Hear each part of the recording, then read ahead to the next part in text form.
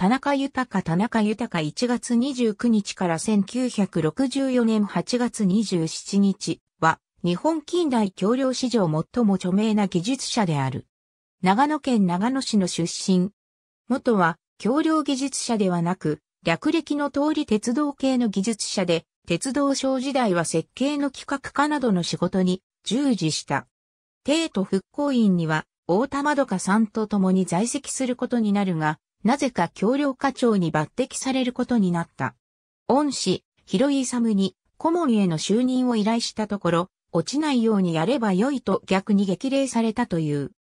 関東大震災によって被害を受けた橋梁の総数は東京で675橋、横浜で108橋であったが、復興事業の設計責任者として隅田川に架かる永代橋や清洲橋といった橋梁群を手掛け、新技術を次々に導入して、橋梁近代化の礎を成した。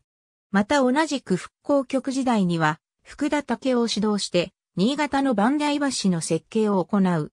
鉄道技師としても総武線隅田川橋梁や東部、伊勢崎線隅田川橋梁の設計に関わるなど、橋梁技術者としての傑出した業績を残す。さらに、東京大学の教授として、多くの橋梁エンジニアの育成に貢献した。